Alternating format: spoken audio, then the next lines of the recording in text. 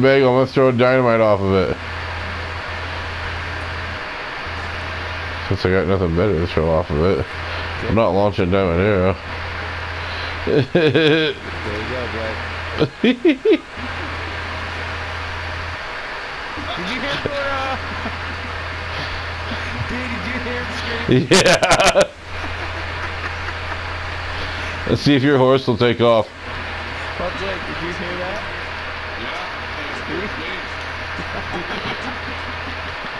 Did you make it? Dude, there's a sturgeon on the side of the water. Now I'm stuck on this side. What am I supposed to do? Why didn't you just kill my horse? I didn't do anything to your horse. Did my horse just... Oh my god, dude! He just jumped off the...